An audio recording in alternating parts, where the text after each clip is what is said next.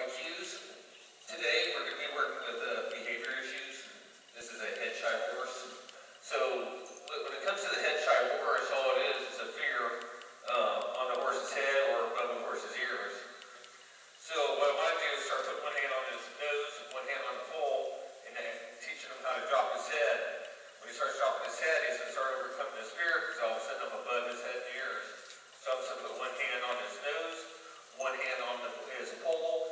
I tip of the ear drops downward, then I'm going to go ahead and take my hands off. So I'm not pushing them down. I'm just resting my hands there.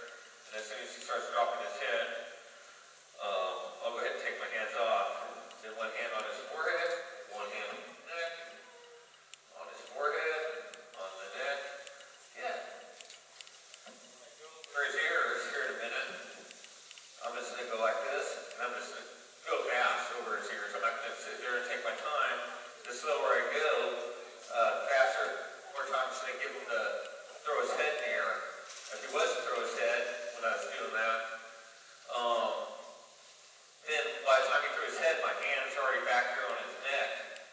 doesn't want to go quickly over his ears.